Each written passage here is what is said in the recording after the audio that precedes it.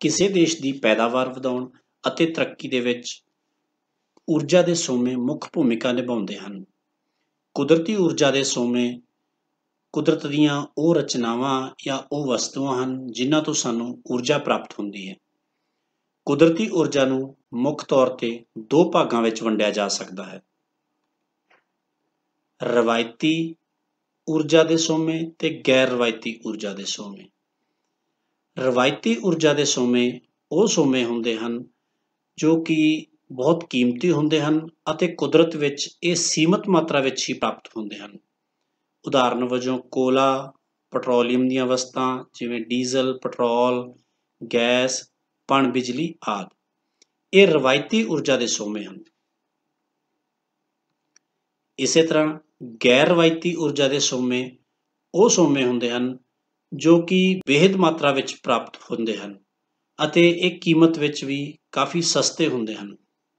ਉਦਾਹਰਨ ਵਜੋਂ, ਬਾਇਓਗੈਸ, ਸੂਰਜੀ ਊਰਜਾ, ਪਵਨ ਊਰਜਾ ਆਦਿ। ਇਹ ਬੇਹਿਸਾਬੀ ਮਾਤਰਾ ਦੇ ਵਿੱਚ ਆਪਣੇ ਵਾਤਾਵਰਣ ਦੇ ਵਿੱਚ, ਆਪਣੀ ਪ੍ਰਕਿਰਤੀ ਦੇ ਵਿੱਚ ਮੌਜੂਦ ਹਨ। ਆਪਾਂ ਇਹਨਾਂ ਨੂੰ ਵਰਤ ਸਕਦੇ ਹਾਂ। ਖੇਤੀਬਾੜੀ ਵਿਸ਼ੇ ਤਹਿਤ ਆਪਾਂ ਗੱਲ ਕਰਾਂਗੇ ਸੂਰਜੀ ਊਰਜਾ ਬਾਰੇ।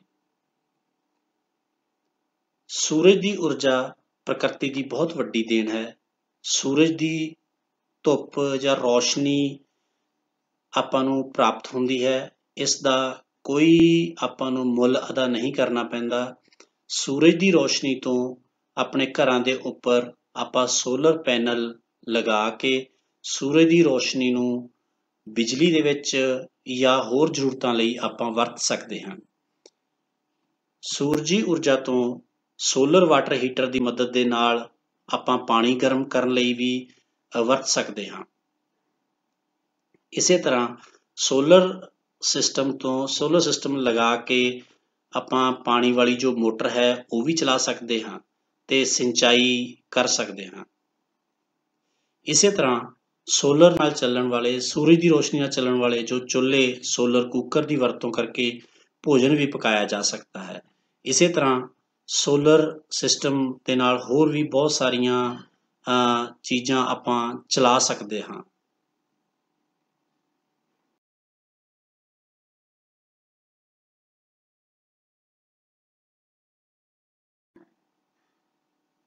ਆਓ ਆਪਾਂ ਸੂਰਜੀ ਊਰਜਾ ਸੰਬੰਧੀ ਪ੍ਰਸ਼ਨ ਉੱਤਰ ਇੱਕ ਇੱਕ ਕਰਕੇ ਹੱਲ ਕਰਦੇ ਹਾਂ ਅਤੇ ਉਹਨਾਂ ਦੇ ਬਾਰੇ ਸਮਝਦੇ ਹਾਂ। ਪ੍ਰਸ਼ਨ ਹੈ ਸੋਲਰ ਵਾਟਰ ਹੀਟਰ ਦਾ ਮੁੱਖ ਲਾਭ ਕੀ ਹੈ? ਉੱਤਰ, ਇਹ ਸੂਰਜ ਦੀ ਤਪਸ਼ ਨਾਲ ਪਾਣੀ ਕੰਮ ਕਰਨ, ਗਰਮ ਕਰਨ ਦੇ ਕੰਮ ਆਉਂਦਾ ਹੈ। ਬੱਚਿਓ ਸੋਲਰ ਵਾਟਰ ਹੀਟਰ ਇੱਕ ਛੱਤ ਤੇ ਲੱਗਿਆ ਹੋਇਆ ਹੀਟਰ ਹੁੰਦਾ ਹੈ, ਜੋ ਸੂਰਜ ਦੀ ਰੋਸ਼ਨੀ ਤੋਂ, ਸੂਰਜ ਦੀਆਂ ਕਿਰਨਾਂ ਤੋਂ ਗਰਮੀ ਲੈ ਕੇ ਪਾਣੀ ਨੂੰ ਗਰਮ ਕਰਨ ਦੇ ਕੰਮ ਆਉਂਦਾ ਹੈ। ਉਸ ਨੂੰ ਸੋਲਰ ਵਾਟਰ ਹੀਟਰ ਕਿਹਾ ਜਾਂਦਾ ਹੈ। ਅਗਲਾ ਪ੍ਰਸ਼ਨ ਹੈ, ਰਵਾਇਤੀ ਊਰਜਾ ਦੇ ਦੋ ਸੋਮਿਆਂ ਦੇ ਉਦਾਹਰਣ ਦਿਓ।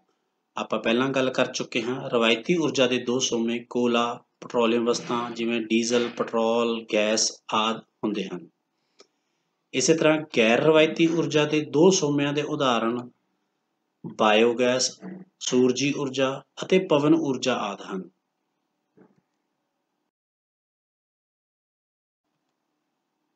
ਅਗਲਾ ਪ੍ਰਸ਼ਨ ਹੈ, ਸੋਲਰ ਡਰਾਇਰ ਕਿੰਨੇ ਪ੍ਰਕਾਰ ਦੇ ਹੁੰਦੇ ਹਨ? ਬੱਚਿਓ, ਸੋਲਰ ਡਰਾਇਰ ਉਹ ਯੰਤਰ ਹੁੰਦਾ ਹੈ ਜੋ ਸੂਰਜ ਦੀ ਗਰਮੀ ਤੋਂ ਸੂਰਜ ਦੀ ਰੋਸ਼ਨੀ ਤੋਂ ਖੇਤੀਬਾੜੀ ਦੀਆਂ ਆਪਣੀਆਂ ਫਲ ਜਾਂ ਸਬਜ਼ੀਆਂ ਸੁਕਾਉਣ ਦੇ ਕੰਮ ਆਉਂਦਾ ਹੈ। ਸੋਲਰ ਡਰਾਇਰ ਦੋ ਪ੍ਰਕਾਰ ਦੇ ਹੁੰਦੇ ਹਨ ਇੱਕ ਪਰਿਵਾਰਕ ਪੱਧਰ ਦੇ ਸੋਲਰ ਡਰਾਇਰ, ਦੂਸਰਾ ਵਪਾਰਕ ਪੱਧਰ ਦੇ ਸੋਲਰ ਡਰਾਇਰ। ਪਰਿਵਾਰਕ ਪੱਧਰ ਵਾਲੇ ਸੋਲਰ ਡਰਾਇਰ ਜੋ ਆਪਾਂ ਆਮ ਘਰਾਂ ਵਿੱਚ ਵਰਤ ਸਕਦੇ ਹਾਂ, ਵਪਾਰਕ ਪੱਧਰ ਦੇ ਜੋ ਸੋਲਰ ਡਰਾਇਰ ਹੁੰਦੇ ਹਨ, ਉਹ ਥੋੜੇ ਵੱਡੇ ਹੁੰਦੇ ਹਨ ਤੇ ਉਹ ਵਪਾਰਕ ਜਿਨ੍ਹਾਂ ਨੇ ਵਪਾਰ ਕਰਨਾ ਹੁੰਦਾ ਹੈ, ਉਹਨਾਂ ਲਈ ਵਰਤਿਆ ਜਾਂਦਾ ਹੈ। ਅਗਲਾ ਪ੍ਰਸ਼ਨ ਹੈ, ਸੋਲਰ ਡਰਾਇਰ ਵਿੱਚ ਸੁਕਾਈਆਂ ਜਾਣ ਵਾਲੀਆਂ ਵਸਤਾਂ ਦੇ ਨਾਂ ਦੱਸੋ। ਸੋਲਰ ਡਰਾਇਰ ਵਿੱਚ ਕਈ ਤਰ੍ਹਾਂ ਦੀਆਂ ਵਸਤਾਂ ਸੁਕਾਈਆਂ ਜਾ ਸਕਦੀਆਂ ਹਨ। ਮੁੱਖ ਤੌਰ ਤੇ ਸਬਜ਼ੀਆਂ ਅਤੇ ਫਲ। ਸਬਜ਼ੀਆਂ ਦੇ ਵਿੱਚ ਮੇਥੀ, ਪਾਲਕ, ਹਲਦੀ, ਸਰੋਂ ਦਾ ਸਾਗ, ਮਿਰਚਾਂ ਅਤੇ ਟਮਾਟਰ ਆਦਿ ਇਸ ਸੋਲਰ ਡਰਾਇਰ ਦੇ ਵਿੱਚ ਸੁਕਾਏ ਜਾ ਸਕਦੇ ਹਨ। ਇਸੇ ਤਰ੍ਹਾਂ ਫਲਾਂ ਦੇ ਵਿੱਚ ਆੜੂ, ਅਲੂਚੇ ਅਤੇ ਅੰਗੂਰ ਆਦਿ ਸੋਲਰ ਡਰਾਇਰ ਵਿੱਚ ਸੁਕਾਏ ਜਾ ਸਕਦੇ ਹਨ। ਅਗਲਾ ਪ੍ਰਸ਼ਨ ਹੈ, ਸੋਲਰ ਕੁੱਕਰ ਦੇ ਮੁੱਖ ਕੀ ਲਾਭ ਹਨ? ਸੋਲਰ ਕੁੱਕਰ ਬੱਚਿਓ, ਉਹ ਯੰਤਰ ਹੁੰਦਾ ਹੈ, ਉਹ ਚੁੱਲ੍ਹਾ ਹੁੰਦਾ ਹੈ ਜਿਸ ਦੇ ਵਿੱਚ ਸੂਰਜ ਦੀ ਰੋਸ਼ਨੀ ਦੇ ਨਾਲ ਜਾਂ ਸੂਰਜ ਦੀ ਤਪਸ਼ ਦੇ ਨਾਲ ਭੋਜਨ ਬਣਾਇਆ ਜਾਂਦਾ ਹੈ। ਸੋਲਰ ਕੁੱਕਰ ਦੇ ਮੁੱਖ ਤੌਰ ਤੇ ਦੋ ਲਾਭ ਹੁੰਦੇ ਹਨ। ਨੰਬਰ 1 ਭੋਜਨ ਪਕਾਉਣ ਦੇ ਕੰਮ ਆਉਂਦਾ ਹੈ ਆਉਂਦਾ ਹੈ। ਨੰਬਰ 2 ਸਬਜ਼ੀਆਂ ਬਣਾਉਣ ਦੇ ਕੰਮ ਆਉਂਦਾ ਹੈ। ਸੋਲਰ ਕੁੱਕਰ ਦੀ ਵਰਤੋਂ ਦੇ ਨਾਲ ਬਹੁਤ ਸਾਰਾ ਬਾਲਣ ਬਚਦਾ ਹੈ, ਬਾਲਣ ਦੀ ਬਚਤ ਹੁੰਦੀ ਹੈ। ਅਗਲਾ ਪ੍ਰਸ਼ਨ ਹੈ, ਸੋਲਰ ਕੁੱਕਰ ਦੀ ਵਰਤੋਂ ਨਾਲ ਕਿੰਨੇ ਪ੍ਰਤੀਸ਼ਤ ਰਵਾਇਤੀ ਬਾਲਣ ਬਚ ਸਕਦਾ ਹੈ? ਇਸ ਦਾ ਉੱਤਰ ਰਹੇਗਾ 20% ਤੱਕ। ਮਤਲਬ ਸੋਲਰ ਕੁੱਕਰ ਦੀ ਜੇ ਆਪਾਂ ਵਰਤੋਂ ਕਰਦੇ ਹਾਂ, ਤਾਂ ਜੋ ਆਪਣਾ ਰਵਾਇਤੀ ਬਾਲਣ ਹੈ ਉਸ ਦੀ 20 ਤੋਂ 50% ਤੱਕ ਦੀ ਬਚਤ ਹੋ ਸਕਦੀ ਹੈ। ਅਗਲਾ ਪ੍ਰਸ਼ਨ ਹੈ, ਸੋਲਰ ਲਾਲਟਨ ਦੀ ਵਰਤੋਂ ਕਿੰਨੇ ਘੰਟੇ ਤੱਕ ਕੀਤੀ ਜਾ ਸਕਦੀ ਹੈ? ਬੱਚਿਓ ਸੋਲਰ ਲਾਲਟਨ ਇੱਕ ਇਸ ਤਰ੍ਹਾਂ ਦੀ ਲਾਲਟਨ ਹੁੰਦੀ ਹੈ, ਇਸ ਤਰ੍ਹਾਂ ਦੀ ਟਾਰਚ ਹੁੰਦੀ ਹੈ ਜਿਸ ਨੂੰ ਆਪਾਂ ਧੁੱਪ ਦੇ ਨਾਲ ਪਹਿਲਾਂ ਚਾਰਜ ਕਰ ਸਕਦੇ ਹਾਂ, ਉਸ ਤੋਂ ਬਾਅਦ ਉਸ ਨੂੰ ਆਪਾਂ ਬੈਟਰੀ ਦੇ ਤੌਰ ਤੇ ਜਾਂ ਇੱਕ ਲਾਲਟਨ ਦੇ ਤੌਰ ਤੇ ਵਰਤ ਸਕਦੇ ਹਾਂ। ਸੋ ਇਸ ਪ੍ਰਸ਼ਨ ਦਾ ਉੱਤਰ ਰਹੇਗਾ 3 ਤੋਂ 4 ਘੰਟੇ ਤੱਕ। ਮਤਲਬ ਸੋਲਰ ਲਾਲਟਨ ਨੂੰ ਇੱਕ ਵਾਰ ਚਾਰਜ ਕਰਨ ਤੋਂ ਬਾਅਦ ਆਪਾਂ 3 ਜਾਂ 4 ਘੰਟੇ ਤੱਕ ਲਗਾਤਾਰ ਵਰਤ ਸਕਦਾ, ਵਰਤ ਸਕਦੇ ਹਾਂ। ਅਗਲਾ ਪ੍ਰਸ਼ਨ ਹੈ ਸੋਲਰ ਵਾਟਰ ਹੀਟਰ ਕਿੰਨੀ ਪ੍ਰਕਾਰ ਦੇ ਹੁੰਦੇ ਹਨ? ਜਿਸ ਤਰ੍ਹਾਂ ਮੈਂ ਤੁਹਾਨੂੰ ਪਹਿਲਾਂ ਦੱਸਿਆ ਸੀ ਬੇਟਾ ਸੋਲਰ ਵਾਟਰ ਹੀਟਰ ਉਹ ਯੰਤਰ ਹੁੰਦੇ ਨੇ ਜੋ ਸੂਰਜ ਦੀ ਤਪਸ਼ ਦੇ ਨਾਲ ਪਾਣੀ ਨੂੰ ਗਰਮ ਕਰਨ ਦੇ ਕੰਮ ਆਉਂਦੇ ਹਨ। ਇਹ ਮੁੱਖ ਤੌਰ ਤੇ ਦੋ ਪ੍ਰਕਾਰ ਦੇ ਹੁੰਦੇ ਹਨ। Number 1 thermosiphon number 2 storage cum collector ਅਗਲਾ ਪ੍ਰਸ਼ਨ ਹੈ ਸੋਲਰ ਕੁੱਕਰ ਤੋਂ ਕੀ ਭਾਵ ਹੈ? ਬੱਚਿਓ ਸੋਲਰ ਕੁੱਕਰ ਇੱਕ ਇਸ ਤਰ੍ਹਾਂ ਦਾ ਚੁੱਲ੍ਹਾ ਹੁੰਦਾ ਹੈ ਜੋ ਸੂਰਜ ਦੀ ਲਾਈਟ ਤੋਂ ਜਾਂ ਸੂਰਜ ਦੀਆਂ ਕਿਰਨਾਂ ਤੋਂ ਭੋਜਨ ਪਕਾਉਣ ਦੇ ਕੰਮ ਆਉਂਦਾ ਹੈ। ਇਸ ਦੇ ਵਿੱਚ ਇੱਕ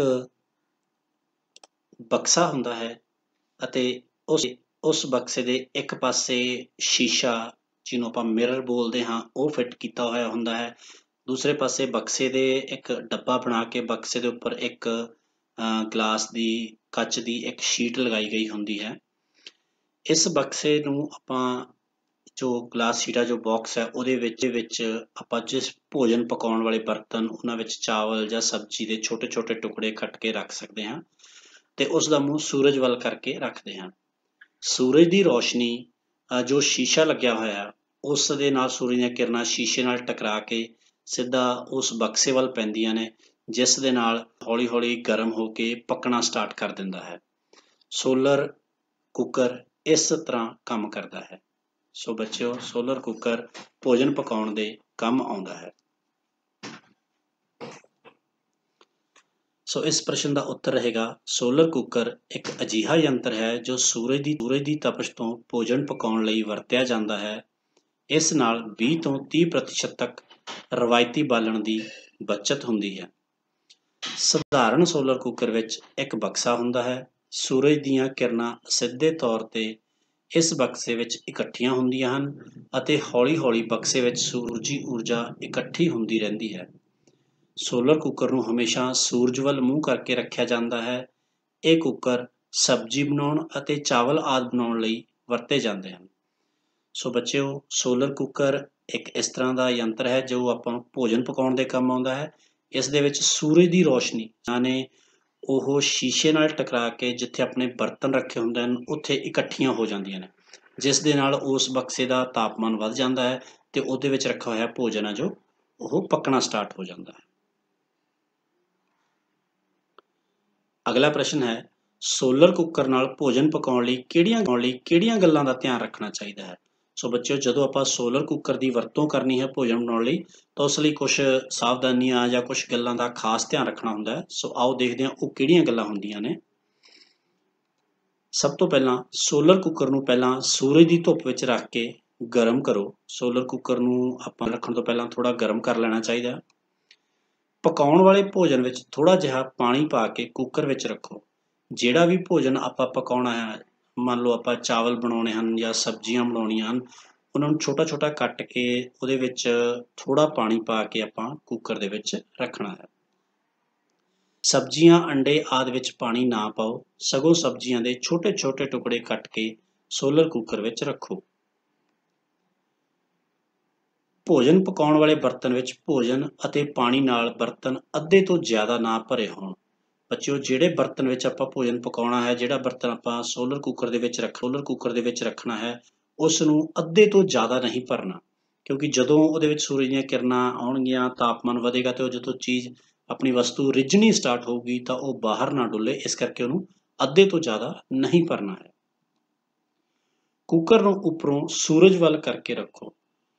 ਕੁੱਕਰ ਦਾ ਸ਼ੀਸ਼ਾ ਹੈ, ਉਹ ਸੂਰਜ ਵੱਲ ਨੂੰ ਕਰਕੇ ਰੱਖਣਾ ਹੈ, ਕਿਉਂਕਿ ਜੇ ਉਹਨੂੰ ਸਿੱਧੀ ਲਾਈਟ ਮਿਲੇਗੀ, ਸਿੱਧੀ ਰੋਸ਼ਨੀ ਸੂਰਜ ਦੀਆਂ ਕਿਰਨਾਂ ਆਉਣਗੀਆਂ, ਤਾਂ ਉਹਦੇ ਵਿੱਚ ਆਪਣੀ ਜੋ ਸਬਜ਼ੀ ਜਾਂ ਜੋ ਭੋਜਨ ਰੱਖਿਆ ਹੈ, ਉਹ ਪੱਕੇਗਾ। ਵਾਰ-ਵਾਰ ਕੁੱਕਰ ਖੋਲਣ ਤੋਂ ਗੁਰੇਜ਼ ਕਰੋ। ਕੁੱਕਰ ਦਾ ਜੋ ਢੱਕਣ ਹੈ, ਜੋ ਕੱਚ ਦੀ ਇੱਕ ਆਪਾਂ ਸ਼ੀਟ ਦੇਖੀ ਸੀ, ਉਹ ਲੱਗੀ ਹੁੰਦੀ ਹੈ ਹੁੰਦੀ ਹੈ ਉਸ ਨੂੰ ਬਾਰ-ਬਾਰ ਨਹੀਂ ਖੋਲਣਾ ਚਾਹੀਦਾ, ਕਿਉਂਕਿ ਜਿਵੇਂ ਆਪਾਂ ਉਹਨੂੰ ਬਾਰ-ਬਾਰ ਖੋਲਾਂਗੇ, ਤਾਂ ਉਹ ਠੰਡਾ ਹੁੰਦਾ ਰਹੇਗਾ। ਭੋਜਨ ਪਕਾਉਣ ਵਾਲੇ ਬਰਤਨ ਦਾ ਢੱਕਣ ਆਰਾਮ ਨਾਲ ਖੋਲੋ ਤਾਂ ਜੋ ਭਾਫ਼ ਤੁਹਾਡੇ ਸਰੀਰ ਨੂੰ ਨਾ ਲੱਗੇ। ਜਦੋਂ ਬੇਟਾ ਭੋਜਨ ਪੱਕ ਕੇ ਤਿਆਰ ਹੁੰਦਾ, ਆਪਾਂ ਢੱਕਣ ਚੱਕ ਕੇ ਅਗਰ ਦੇਖਣਾ ਹੈ ਵੀ ਭੋਜਨ ਪੱਕ ਗਿਆ ਜਾਂ ਨਹੀਂ ਪੱਕਿਆ, ਤਾਂ ਉਸ ਨੂੰ ਆਰਾਮ ਨਾਲ ਖੋਲਣਾ ਹੈ। ਜੇ ਆਪਾਂ ਇੱਕਦਮ ਖੋਲਾਂਗੇ ਤਾਂ ਉਸ ਦੀ ਜੋ ਭਾਫ਼ ਹੈ, ਉਹਦੇ ਨਾਲ ਆਪਣੇ ਹੱਥ ਜਾਂ ਆਪਣੇ ਮੂੰਹ ਨੂੰ ਜਲਣ ਹੋ ਸਕਦੀ ਹੈ। ਸੋ ਇਹ ਸਾਰੀਆਂ ਗੱਲਾਂ ਨੇ ਜੋ ਆਪਾਂ ਸੋਲਰ ਕੁੱਕਰ ਦੇ ਵਿੱਚ ਭੋਜਨ ਪਕਾਉਣ ਵੇਲੇ ਧਿਆਨ ਰੱਖਣਾ ਹੈ। ਅਗਲਾ ਪ੍ਰਸ਼ਨ ਹੈ ਸੋਲਰ ਸਟਰੀਟ ਲਾਈਟ ਬਾਰੇ ਸੰਖੇਪ ਵਿੱਚ ਜਾਣਕਾਰੀ ਦਿਓ। ਬੱਚਿਓ ਸੋਲਰ ਸਟਰੀਟ ਲਾਈਟ ਇੱਕ ਅਜਿਹੀ ਲਾਈਟ ਹੁੰਦੀ ਹੈ, ਜਿਸ ਵਿੱਚ ਦਿਨ ਸਮੇਂ ਸੂਰਜ ਦੀ ਰੋਸ਼ਨੀ ਨਾਲ ਬੈਟਰੀ ਚਾਰਜ ਹੁੰਦੀ ਹੈ ਅਤੇ ਰਾਤ ਨੂੰ ਉਸੇ ਬੈਟਰੀ ਦੇ ਨਾਲ ਇਹ ਲਾਈਟ ਜਗ ਕੇ ਰੋਸ਼ਨੀ ਕਰਦੀ ਹੈ। ਬੱਚਿਓ ਅਜਿਹੀਆਂ ਲਾਈਟਾਂ ਵਿੱਚ ਇੱਕ ਸੈਂਸਰ ਲੱਗਾ ਹੁੰਦਾ ਹੈ, ਜਿਸ ਨਾਲ ਇਹ ਲਾਈਟ ਹਨੇਰੇ ਹੁੰਦੇ ਸਾਰ ਆਪਣੇ ਆਪ ਹੀ ਜਗ ਜਾਂਦੀ ਹੈ ਅਤੇ ਦਿਨ ਚੜ੍ਹਨ ਸਾਰ ਆਪਣੇ ਆਪ ਹੀ ਬੁਝ ਜਾਂਦੀ ਹੈ। ਸੋ ਬੱਚਿਓ ਸੋਲਰ ਸਟਰੀਟ ਲਾਈਟ ਉਹ ਲਾਈਟ ਹੁੰਦੀ ਹੈ ਜੋ ਗਲੀਆਂ ਵਿੱਚ ਲੱਗੀ ਹੁੰਦੀ ਹੈ ਜਾਂ ਆਪਣਿਆਂ ਰੋਡ ਦੇ ਉੱਤੇ ਲੱਗੀ ਹੁੰਦੀ ਹੈ। ਇਸ ਲਾਈਟ ਵਿੱਚ ਕੀ ਹੈ? ਇੱਕ ਸੋਲਰ ਪੈਨਲ ਲੱਗਿਆ ਹੁੰਦਾ ਹੈ। ਦਿਨ ਵੇਲੇ ਉਹ ਸੂਰਜ ਦੀ ਰੋਸ਼ਨੀ ਤੋਂ ਕਿਰਨਾਂ ਤੋਂ ਬੈਟਰੀ ਨੂੰ ਚਾਰਜ ਕਰਦਾ ਰਹਿੰਦਾ ਹੈ ਤੇ ਉਹ ਬੈਟਰੀ ਜਦੋਂ ਚਾਰਜ ਹੋ ਜਾਂਦੀ ਹੈ ਤਾਂ ਰਾਤ ਨੂੰ ਉਸੇ ਬੈਟਰੀ ਦੀ ਵਰਤੋਂ ਦੇ ਨਾਲ, ਮਦਦ ਦੇ ਨਾਲ ਲਾਈਟ ਜਗਦੀ ਹੈ। ਇਨ੍ਹਾਂ ਲਾਈਟਾਂ ਵਿੱਚ ਇੱਕ ਸੈਂਸਰ ਵੀ ਲੱਗਿਆ ਹੁੰਦਾ ਜਿਸ ਜੋ ਇਸ ਨੂੰ ਆਟੋਮੈਟਿਕ ਬਣਾਉਂਦਾ ਹੈ। ਜਾਨੀ ਕਿ ਦਿਨ ਵੇਲੇ ਆਪਣੇ ਆਪ ਲਾਈਟ ਬੰਦ ਹੋ ਜਾਂਦੀ ਹੈ ਤੇ ਰਾਤ ਨੂੰ ਆਪਣੇ ਆਪ ਜਗ ਜਾਂਦੀ ਹੈ। ਸੋਲਰ ਸਟਰੀਟ ਲਾਈਟ ਕੁਝ ਇਸ ਤਰ੍ਹਾਂ ਕੰਮ ਕਰਦੀ ਹੈ, ਇਸ ਦੇ ਉੱਪਰ ਜੋ ਇੱਕ ਸੋਲਰ ਪੈਨਲ ਲੱਗਿਆ ਹੁੰਦਾ ਹੈ, ਉਸ ਤੇ ਸੂਰਜ ਦੀਆਂ ਕਿਰਨਾਂ ਆਉਂਦੀਆਂ ਹਨ। ਉਹਨਾਂ ਉਹਨਾਂ ਕਿਰਨਾਂ ਦੇ ਨਾਲ ਉਹ ਉਹਨਾਂ ਤੋਂ ਚਾਰਜਿੰਗ ਲੈ ਕੇ ਜੋ ਬੈਟਰੀ ਹੁੰਦੀ ਹੈ ਉਸ ਨੂੰ ਚਾਰਜ ਕਰਨ ਦਾ ਕੰਮ ਕਰਦਾ ਹੈ, ਜੋ ਸੋਲਰ ਪੈਨਲ ਉੱਪਰ ਵਾਲਾ ਹੁੰਦਾ ਸੂਰਜ ਦੀਆਂ ਕਿਰਨਾਂ ਤੋਂ ਬੈਟਰੀ ਨੂੰ ਚਾਰਜ ਕਰਦਾ ਹੈ। ਇਸ ਤਰ੍ਹਾਂ ਬੈਟਰੀ ਦਿਨ ਵੇਲੇ ਚਾਰਜ ਹੁੰਦੀ ਰਹਿੰਦੀ ਹੈ। ਜਦੋਂ ਇਹ ਬੈਟਰੀ ਜਿਹੜੀ ਚਾਰਜ ਹੋਈ ਹੈ ਉਹੀ ਬੈਟਰੀ ਰਾਤ ਨੂੰ ਲਾਈਟ ਜਗਾਉਣ ਦੇ ਕੰਮ ਆਉਂਦੀ ਹੈ। ਇਹ ਸਟਰੀਟ ਲਾਈਟਾਂ ਨੂੰ ਆਪਾਂ ਗਲੀਆਂ ਦੇ ਵਿੱਚ, ਆਪਣੇ ਮੁਹੱਲੇ ਦੇ ਵਿੱਚ ਲਗਾ ਸਕਦੇ ਹਾਂ। ਉਸ ਦੇ ਨਾਲ ਆਪਾਂ ਨੂੰ ਬਿਜਲੀ ਦੀ ਕਨੈਕਸ਼ਨ ਨਹੀਂ ਲੈਣਾ ਪਵੇਗਾ, ਬਿਜਲੀ ਦੀ ਬਚਤ ਹੋਵੇਗੀ। ਸਟਰੀਟ ਲਾਈਟਾਂ ਨੂੰ ਆਪਾਂ ਆਪਣੇ ਜੋ ਸ਼ਹਿਰੀ ਖੇਤਰ ਹੈ ਜਾਂ ਆਪਣੇ ਜੋ ਆਮ ਗਰਾਊਂਡ ਜਾਂ ਸਕੂਲ ਉੱਥੇ ਵੀ ਲਗਾ ਸਕਦੇ ਹਾਂ। ਆਪਣੀ ਕਲੋਨੀ ਵਿੱਚ ਲਗਾ ਸਕਦੇ ਹਾਂ। ਇਨ੍ਹਾਂ ਲਾਈਟਾਂ ਨੂੰ ਜੋ ਆਪਣੀਆਂ ਵੱਡੇ ਹਾਈਵੇ ਬਣੇ ਹੁੰਦੇ ਨੇ, ਉਹਨਾਂ ਉੱਪਰ ਵੀ ਲਗਾਇਆ ਜਾ ਸਕਦਾ ਹੈ। ਇਸ ਦੇ ਨਾਲ ਲਾਈਟ ਦੀ ਬਹੁਤ ਸਾਰੀ ਬਚਤ ਹੁੰਦੀ ਹੈ, ਬਚਤ ਹੁੰਦੀ ਹੈ। ਅਗਲਾ ਪ੍ਰਸ਼ਨ ਹੈ ਸੋਲਰ ਹੋਮ ਲਾਈਟਿੰਗ ਸਿਸਟਮ ਬਾਰੇ ਤੁਸੀਂ ਕੀ ਜਾਣਦੇ ਹੋ? ਇਹ ਸਿਸਟਮ ਵਿੱਚ ਸੂਰਜ ਦੀ ਰੋਸ਼ਨੀ ਨਾਲ ਇਨਵਰਟਰ ਬੈਟਰੀ ਨੂੰ ਚਾਰਜ ਕਰਕੇ ਅਸੀਂ ਘਰ ਵਿੱਚ ਬਿਜਲੀ ਦੀ ਲੋੜ ਨੂੰ ਪੂਰਾ ਕਰ ਸਕਦੇ ਹਾਂ। ਬਿਜਲੀ ਦੀ ਗੈਰ ਮੌਜ ਪੱਖੇ ਅਤੇ ਟਿਊਬਾਂ ਚਲਾ ਸਕਦੇ ਹਾਂ। ਬੱਚਿਓ ਸੋਲਰ ਹੋਮ ਲਾਈਟਿੰਗ ਸਿਸਟਮ ਇਸ ਤਰ੍ਹਾਂ ਦਾ ਹੈ, ਜਿਸ ਦੇ ਵਿੱਚ ਆਪਾਂ ਆਪਣੇ ਘਰ ਦੇ ਉੱਪਰ ਇੱਕ ਪੈਨਲ ਲਗਾਉਂਦੇ ਹਾਂ। ਉਸ ਘਰ ਦੇ ਉੱਪਰ ਜੋ ਪੈਨਲ ਲਗਾਇਆ ਹੁੰਦਾ ਹੈ, ਉਹ ਸੂਰਜ ਦੀ ਰੋਸ਼ਨੀ, ਸੂਰਜ ਦੀਆਂ ਕਿਰਨਾਂ ਤੋਂ ਲੈ ਕੇ ਰੋਸ਼ਨੀ ਤੋਂ ਇਨਵਰਟਰ ਨੂੰ ਤੇ ਬੈਟਰੀ ਨੂੰ ਚਾਰਜ ਕਰਦਾ ਹੈ। ਜਾਨੀ ਕਿ ਉਹ ਸੂਰਜ ਦੀਆਂ ਕਿਰਨਾਂ ਨੂੰ ਬਿਜਲੀ ਦੇ ਵਿੱਚ ਕਨਵਰਟ ਕਰ ਦਿੰਦਾ ਹੈ। ਉਸੇ ਬਿਜਲੀ ਨੂੰ ਆਪਾਂ ਆਪਣੇ ਘਰ ਲਈ ਵਰਤ ਸਕਦੇ ਹਾਂ, ਜਿਸ ਦੇ ਨਾਲ ਆਪਣੀ ਬਿਜਲੀ ਦੀ ਬਚਤ ਹੁੰਦੀ ਹੈ ਅਤੇ ਆਪਣੇ ਜੋ ਖਰਚਾ ਹੈ, ਉਸ ਦੇ ਵੇਰ ਵੀ ਉਹ ਵੀ ਬਚਦਾ ਹੈ। ਇਸ ਦੇ ਵਿੱਚ ਅਲੱਗ-ਅਲੱਗ ਤਰ੍ਹਾਂ ਦਾ ਕਰੰਟ ਤੇ ਬਿਜਲੀ ਪੈਦਾ ਹੁੰਦੀ ਹੈ। ਉਸ ਕਰੰਟ ਨੂੰ ਆਪਾਂ ਇਨਵਰਟਰ ਰਾਹੀਂ ਬੈਟਰੀ ਤੱਕ, ਬੈਟਰੀ ਨੂੰ ਚਾਰਜ ਕਰ ਸਕਦੇ ਹਾਂ। ਆਪਾਂ ਪੱਖੇ ਚਲਾ ਸਕਦੇ ਹਾਂ, ਟਿਊਬਾਂ ਜਗਾ ਸਕਦੇ ਹਾਂ ਜਾਂ ਟੀਵੀ ਵੀ ਚਲਾ ਸਕਦੇ ਹਾਂ। ਸੋ ਇਹ ਸਾਰੇ ਹੋਮ ਲਾਈਟਿੰਗ ਸਿਸਟਮ ਬੋਲਦੇ ਆ, ਸੋਲਰ ਹੋਮ ਲਾਈਟਿੰਗ ਸਿਸਟਮ ਜਾਨੀ ਕਿ ਸੋਲਰ ਦੀਆਂ ਕਿਰਨਾਂ ਤੋਂ ਆਪਾਂ ਆਪਣੇ ਘਰ ਦੀ ਜੋ ਬਿਜਲੀ ਦੀ ਰਿਕੁਆਇਰਮੈਂਟ ਹੈ, ਉਸ ਨੂੰ ਪੂਰਾ ਕਰਦੇ ਹਾਂ। ਅਗਲਾ ਪ੍ਰਸ਼ਨ ਹੈ ਸੋਲਰ ਵਾਟਰ ਪੰਪ ਕੀ ਹੁੰਦਾ ਹੈ? ਇਹ ਸੂਰਜ ਦੀ ਰੋਸ਼ਨੀ ਨਾਲ ਚੱਲਣ ਵਾਲਾ ਟਿਊਬਲ ਹੁੰਦਾ ਹੈ, ਇਹ ਧਰਤੀ ਹੇਠਲਾ ਪਾਣੀ ਕੱਢ ਕੇ ਫਸਲਾਂ ਦੀ ਸਿੰਚਾਈ ਕਰਨ ਲਈ ਵਰਤਿਆ ਜਾਂਦਾ ਹੈ। ਸੋ ਬੱਚਿਓ, ਇਹ ਇੱਕ ਇਸ ਤਰ੍ਹਾਂ ਦੀ ਮੋਟਰ ਹੁੰਦੀ ਹੈ ਜੋ ਸੋਲਰ ਦੀ, ਸੂਰਜ ਦੀ ਰੋਸ਼ਨੀ ਦੇ ਨਾਲ ਚੱਲਦੀ ਹੈ। ਇਹਦੇ ਵਿੱਚ ਇੱਕ ਸੋਲਰ ਪੈਨਲ ਲਗਾਇਆ ਹੁੰਦਾ ਹੈ। ਉਸੇ ਤਰ੍ਹਾਂ ਉਹ ਸੂਰਜ ਦੀਆਂ ਕਿਰਨਾਂ ਨੂੰ ਬਿਜਲੀ ਦੇ ਵਿੱਚ ਬਦਲ ਦਿੰਦਾ ਹੈ, ਜਿਸ ਨਾਲ ਮੋਟਰ ਚੱਲਦੀ ਹੈ। ਅਗਲਾ ਪ੍ਰਸ਼ਨ ਹੈ storage cum collector solar water heater ਬਾਰੇ ਤੁਸੀਂ ਕੀ ਜਾਣਦੇ ਹੋ? ਬੱਚਿਓ, ਜਿਵੇਂ ਮੈਂ ਪਹਿਲਾਂ ਵੀ ਦੱਸਿਆ, ਇਹ ਇੱਕ ਯੰਤਰ ਹੈ ਜੋ ਛੱਤ ਦੇ ਉੱਪਰ, ਆਪਣੇ ਘਰਾਂ ਦੀ ਛੱਤ ਦੇ ਉੱਪਰ ਲਗਾਇਆ ਜਾਂਦਾ ਹੈ, ਜੋ ਸੂਰਜ ਦੀ ਰੋਸ਼ਨੀ ਤੋਂ, ਸੂਰਜ ਦੀ ਤਪਸ਼ ਤੋਂ ਪਾਣੀ ਨੂੰ ਗਰਮ ਕਰਨ ਦੇ ਕੰਮ ਆਉਂਦਾ ਹੈ। ਇਸ ਦੇ ਵਿੱਚ ਇੱਕ ਸੋਲਰ ਪੈਨਲ ਲੱਗਿਆ ਹੁੰਦਾ ਹੈ ਅਤੇ ਨਾਲ ਹੀ ਇੱਕ ਕੰਟੇਨਰ ਲੱਗਿਆ ਹੁੰਦਾ ਹੈ, ਜਿਸ ਵਿੱਚ ਗਰਮ ਪਾਣੀ ਇਕੱਠਾ ਹੁੰਦਾ ਹੈ। ਸੋ ਇਹ ਦੇ ਵਿੱਚ ਜੋ ਪਾਈਪਾਂ ਹੁੰਦੀਆਂ ਨੇ, ਉਹ ਸੂਰਜ ਦੀ ਗਰਮੀ ਤੋਂ ਗਰਮ ਹੋ ਕੇ ਪਾਣੀ ਨੂੰ ਗਰਮ ਕਰਦੀਆਂ ਹਨ ਅਤੇ ਗਰਮ ਪਾਣੀ ਜੋ ਇਸ ਦੇ ਨਾਲ ਸਟੋਰੇਜ ਟੈਂਕ ਹੈ, ਉਸ ਦੇ ਵਿੱਚ ਇਕੱਠਾ ਹੁੰਦਾ ਹੈ। ਤੁਸੀਂ ਤਸਵੀਰ ਦੇ ਵਿੱਚ ਦੇਖ ਸਕਦੇ ਹੋ, ਸੂਰਜ ਦੀਆਂ ਕਿਰਨਾਂ ਜੋ ਨੇ, ਉਹ ਪੈਨਲ ਦੇ ਉੱਪਰ ਸੋਲਰ ਪੈਨਲ ਦੇ ਉੱਪਰ ਪੈ ਰਹੀਆਂ ਨੇ ਤੇ ਉਸ ਦੇ ਨਾਲ ਪਾਣੀ ਗਰਮ ਹੋ ਕੇ ਜੋ ਆਪਣਾ ਸਟੋਰੇਜ ਟੈਂਕ ਹੈ, ਉਹਦੇ ਵਿੱਚ ਇਕੱਠਾ ਹੁੰਦਾ ਰਹਿੰਦਾ ਹੈ।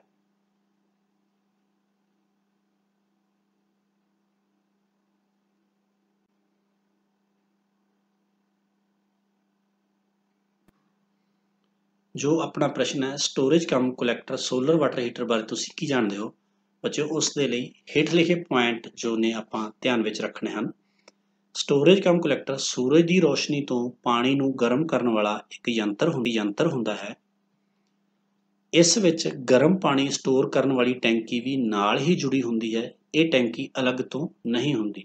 ਬੱਚਿਓ, ਜਿਵੇਂ ਕਿ ਆਪਾਂ ਨੂੰ ਇਸ ਦੇ ਨਾਂ ਤੋਂ ਹੀ ਪਤਾ ਲੱਗਦਾ ਹੈ, ਇਹ ਅੰਗਰੇਜ਼ੀ ਦਾ ਅੱਖਰ ਹੈ ਸਟੋਰੇਜ ਕਮ ਕਲੈਕਟਰ ਸੋ ਇਸ ਦੇ ਵਿੱਚ ਜੋ ਗਰਮ ਪਾਣੀ ਸਟੋਰ ਕਰਨ ਵਾਲੀ ਟੈਂਕੀ ਅਲੱਗ ਤੋਂ ਹੁੰਦੀ, ਇਸ ਇਸ ਦੇ ਨਾਲ ਹੀ ਜੁੜੀ ਹੁੰਦੀ ਹੈ, ਜਿਸ ਵਿੱਚ ਪਾਣੀ ਗਰਮ ਇਕੱਠਾ ਹੁੰਦਾ ਰਹਿੰਦਾ ਹੈ।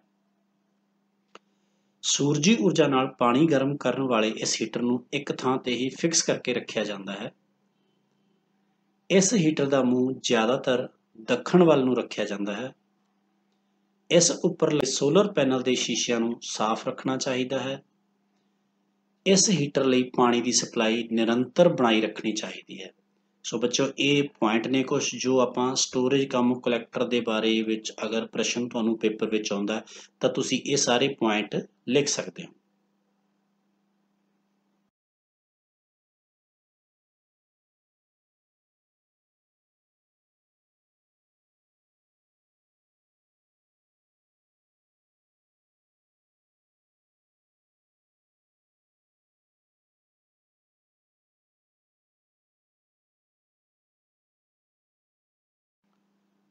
ਅਗਲਾ ਪ੍ਰਸ਼ਨ ਹੈ, ਸੂਰਜੀ ਊਰਜਾ ਤੋਂ ਅਸੀਂ ਵੱਖ-ਵੱਖ ਤਰੀਕਿਆਂ ਨਾਲ ਕਿਵੇਂ ਫਾਇਦੇ ਲੈ ਸਕਦੇ ਹਾਂ? ਸੂਰਜੀ ਊਰਜਾ ਤੋਂ ਧਰਤੀ ਤੇ ਪਹੁੰਚਣ ਵਾਲੀਆਂ ਕਿਰਨਾਂ ਸਾਨੂੰ ਬਹੁਤ ਵੱਡੀ ਮਾਤਰਾ ਵਿੱਚ ਊਰਜਾ ਪ੍ਰਦਾਨ ਕਰਦੀਆਂ ਹਨ। ਇਸ ਊਰਜਾ ਤੋਂ ਅਸੀਂ ਹੇਠ ਲਿਖੇ ਅਨੁਸਾਰ ਫਾਇਦੇ ਲੈ ਸਕਦੇ ਹਾਂ। ਨੰਬਰ 1 ਸੋਲਰ ਕੁੱਕਰ ਦੀ ਵਰਤੋਂ ਨਾਲ ਅਸੀਂ ਭੋਜਨ ਪਕਾ ਸਕਦੇ ਹਾਂ। ਸੋਲਰ ਵਾਟਰ ਹੀਟਰ ਦੀ ਮਦਦ ਦੇ ਨਾਲ ਅਸੀਂ ਪਾਣੀ ਗਰਮ ਕਰ ਸਕਦੇ ਹਾਂ। ਸੋਲਰ ਵਾਟਰ ਪੰਪ ਦੀ ਮਦਦ ਨਾਲ ਸਿੰਚਾਈ ਕਰਕੇ ਬਿਜਲੀ ਬਚਾਈ ਜਾ ਸਕਦੀ ਹੈ। ਸੋਲਰ ਸਟਰੀਟ ਲਾਈਟਾਂ ਦੀ ਮਦਦ ਨਾਲ ਰਾਤ ਨੂੰ ਰੋਸ਼ਨੀ ਕਰਕੇ ਬਿਜਲੀ ਬਚਾ ਸਕਦੇ ਹਾਂ। ਘਰਾਂ ਵਿੱਚ ਸੋਲਰ ਸਿਸਟਮ ਲਗਵਾ ਕੇ ਵੀ ਬਿਜਲੀ ਬਚਾ ਸਕਦੇ ਹਾਂ। ਖੇਤੀਬਾੜੀ ਵਿੱਚ ਫਲ ਅਤੇ ਸਬਜ਼ੀਆਂ ਸੁਕਾਉਣ ਲਈ ਸੋਲਰ ਡਰਾਇਰ ਦੀ ਵਰਤੋਂ ਕਰ ਵੀ ਕੀਤੀ ਜਾ ਸਕਦੀ ਹੈ। ਸੋ ਬੱਚਿਓ, ਇਹ ਉਹ ਫਾਇਦੇ ਨੇ ਜੋ ਆਪਾਂ ਸੂਰਜ ਦੀ ਊਰਜਾ ਊਰਜਾ ਤੋਂ ਜਾਂ ਸੂਰਜੀ ਊਰਜਾ ਤੋਂ ਇਹ ਫਾਇਦੇ ਲੈ ਕੇ ਆਪਾਂ ਬਿਜਲੀ ਬਚਾ ਸਕਦੇ ਹਾਂ, ਜਿਸ ਦੇ ਨਾਲ ਆਪਣਾ ਜੋ ਖਰਚਾ ਹੈ ਉਹ ਵੀ ਘਟੇਗਾ। ਸੋ ਅਖੀਰ ਵਿੱਚ ਵਿਦਿਆਰਥੀਆਂ ਲਈ ਇੱਕ ਪ੍ਰਸ਼ਨ ਹੈ, ਬੱਚਿਓ, ਕੀ ਸੂਰਜ ਦੀ ਰੋਸ਼ਨੀ ਨਾਲ ਕਾਰ ਜਾਂ ਜੀਪ ਆਦਿ ਵੀ ਚਲਾਏ ਜਾ ਸਕਦੇ ਹਨ? ਤੁਸੀਂ ਇਹ ਪੜ੍ਹ ਬੇਟਾ, ਅਖਬਾਰ ਤੋਂ ਦੇਖੋ, ਇੰਟਰਨੈਟ ਤੋਂ ਦੇਖੋ ਤੇ ਕੱਲ ਨੂੰ ਮੈਨੂੰ ਇਹਦਾ ਜਵਾਬ ਦਿਓ। Thank you.